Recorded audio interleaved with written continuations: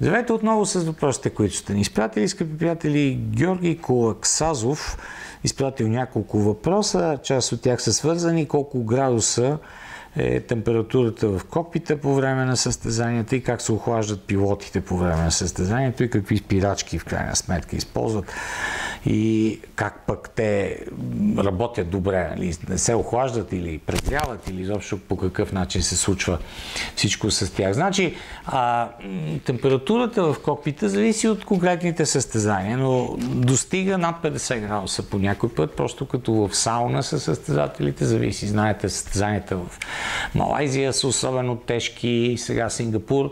Окей, там а, приблизително също е много горещо, но все пак състезанието е доста късно вечер, в 8 часа вечерта започва. Близкия изток, състезанията, които бяха в Бахрейн през деня, преди години, също Бразилия по някой път. Зависи от конкретния състезателен уикенд в Европа по някой път.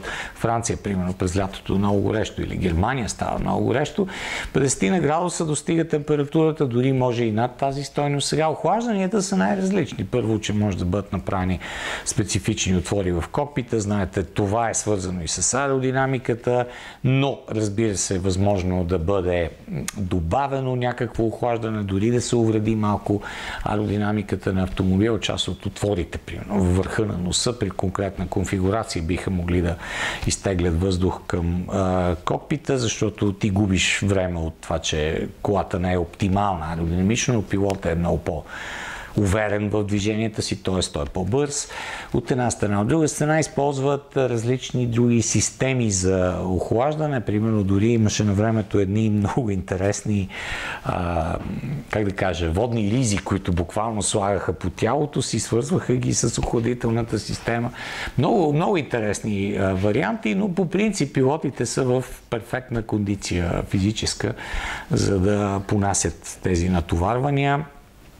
Задължително е, разбира се, използването на много течности по време на надпреварите. Различна е големината на бутилката с течности, които те поемат по време на състезанията и става ужасно тогава, когато системата се развали, бутона от волана, с който ти впръскваш някакво количество в устата си се повреди или цялата система се повреди, защото тогава дехидратацията става ужасна.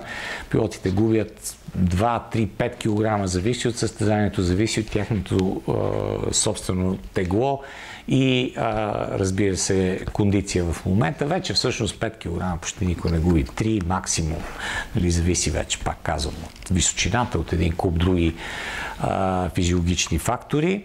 А, иначе, какви спирачки използват? Използват карбонови спирачки. Знаете, сега има някои промени специално за този сезон. Примерно, а, те са с различен брой отвори, зависимост от пистата, зависимост от натоварването на спирачките в Канада. Знаете, 1400 градуса достигат спирачките на други писти.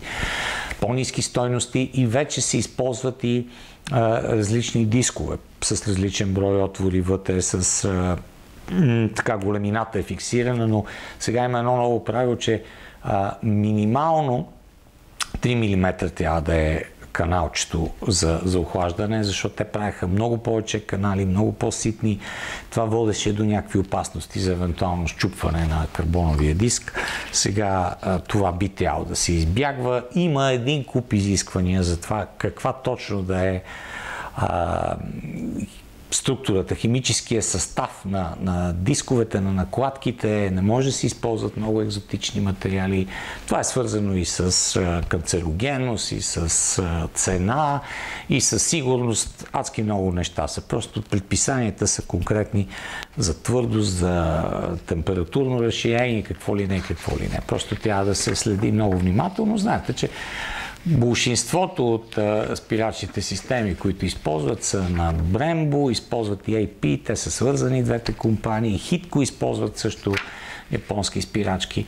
И а, различните производители все пак имат различни, различни качества, така че има, има известна специфика и в, в, тази, в тази посока. Благодаря за въпросите, ще бъдем отново заедно скоро.